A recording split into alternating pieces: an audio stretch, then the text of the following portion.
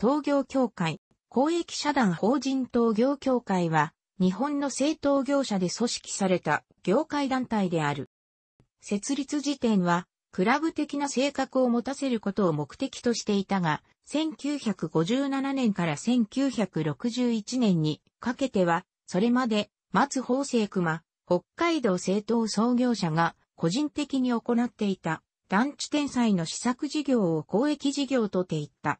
教会では、梅原龍三郎の資金城の黄昏、金山平蔵の雲の影を、はじめ65点の美術品を所蔵し、公立、公共美術館への無償貸し出しを行っている。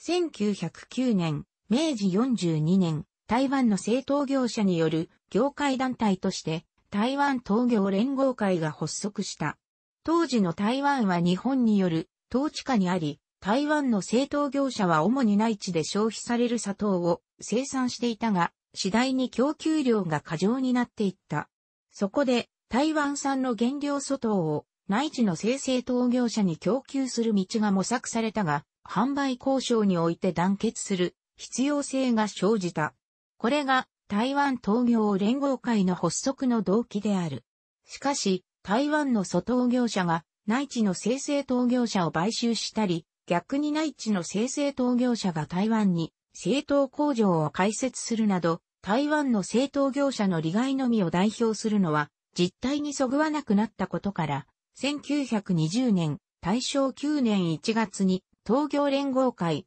1935年、昭和10年5月には日本東業連合会に名称を変更した。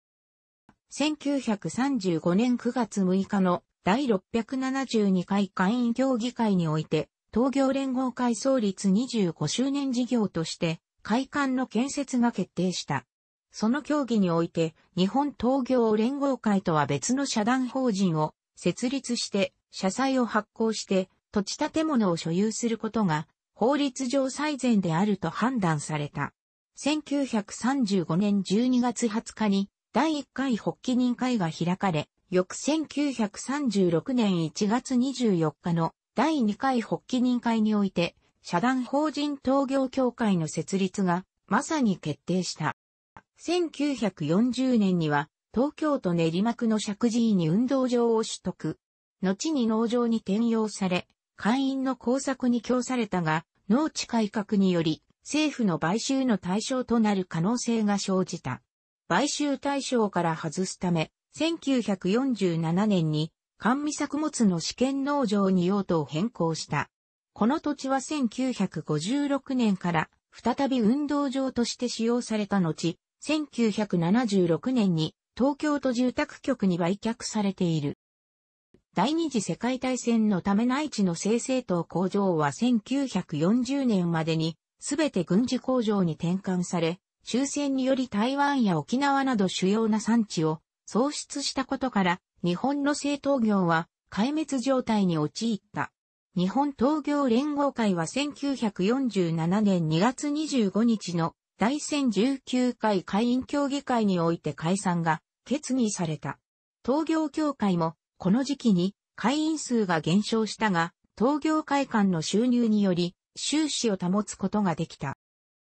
2008年に施行された公益法人制度改革により従来の社団法人は一般社団法人または公益社団法人のいずれかに移行することになり、東業協会は内閣総理大臣認定の公益社団法人となった。東業会館は1939年8月15日に落成し、おさむ罰式が執り行われた。1944年4月から農林省、現農林水産省に貸し出され、地下1階は1949年から帝国ホテルによる食堂、リッツの営業が行われた。農林省は1953年に霞が関の中央合同庁舎第1号館に転出したが、これに代わる賃料収入源として会社設立間近だった日本放送との間に1954年2月1日に賃貸契約が締結した。設立当初のフジテレビジョン、当時はフジテレビジョン本社も入居していた。1962年に新宿区市ヶ谷川田町へ本社機能移転。中日アメリカ大使館からの使用申し入れがあったが、この交渉は実らなかった。